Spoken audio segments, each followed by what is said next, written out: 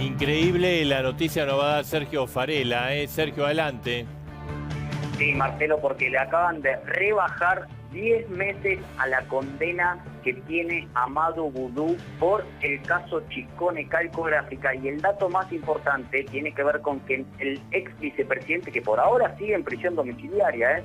ya quedan condiciones de requerir salidas transitorias, teniendo en cuenta esta rebaja que fue beneficiado por la justicia, concretamente el juez federal Daniel Obligado, y el tiempo que lleva detenido. La condena de 5 años y 10 meses de prisión que había recibido por el caso Chicone Calcoráfica, bueno, ahora por estímulo educativo, perdón, le rebaja el juez obligado 10 meses de prisión, eh, según acreditó el juez, durante el tiempo en que estuvo detenido Maduro, hizo un taller de filosofía y otro de organización de eventos, y en función de eso sus abogados pidieron una rebaja. Bueno, el juez le dio 10 meses de changüí a Maduro. Es realmente insólito esto, ¿no? Y muy cara dura, ¿no?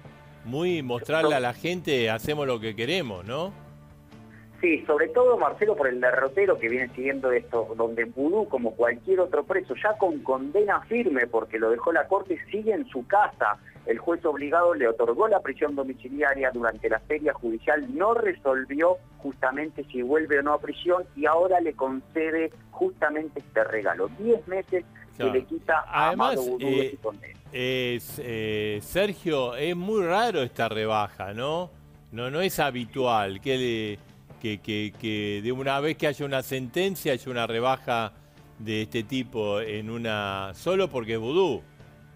Exactamente, acá hay una marcada diferencia, digamos, la igualdad ante la ley la dejamos de lado, Marcelo, la, defensa había pedido 20 meses que le rebajen a Vudú, la fiscalía dijo tan solo lo que estudió Vudú le alcanzan para 6 meses y finalmente el juez dijo, bueno, 10 meses le terminamos dando a Amado Vudú que le quitan de la condena por estímulo educativo y obviamente lo más insólito, Amado Udú sigue en su casa pese a tener la condena firme, ya no tiene instancia de apelación, ya la justicia dijo que es culpable, que se quiso quedar con Chicone Calcográfica, esta fábrica de imprimir billetes, ahora recibe este regalo de 10 meses que le quitan de su condena y mientras tanto, lo más insólito de todo, que sigue en su casa.